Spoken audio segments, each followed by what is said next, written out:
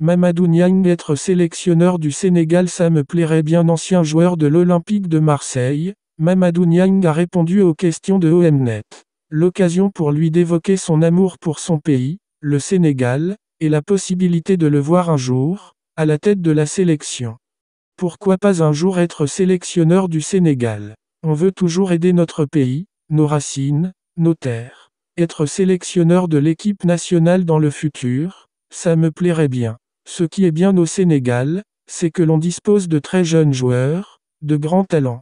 Ça manque un peu d'expérience par moment, on l'a vu durant la dernière Cannes et la Coupe du Monde. Mais ce sont des joueurs de qualité, je pense notamment à Ismail Assar, Sadio Mané, Koulibaly aussi. Il y a quelques joueurs d'expérience comme Idrissa Gueye qui est à Everton, Shekou Kouyaté qui est à Crystal Palace et qui était à West Ham avant. On a des joueurs comme Sané qui évolue à Schalke 04. On a Keta Baldé qui est à l'Inter, Mbenyang Garen. Il y a des joueurs de qualité. Il faut trouver la bonne recette pour mixer tout ça pour faire une équipe talentueuse, il ne manque pas grand-chose. Aliou Cissé, le sélectionneur a fait de très bonnes choses. Il manque très peu pour qu'il puisse aller chercher une finale ou un titre. Ils peuvent le faire et ça se joue à rien.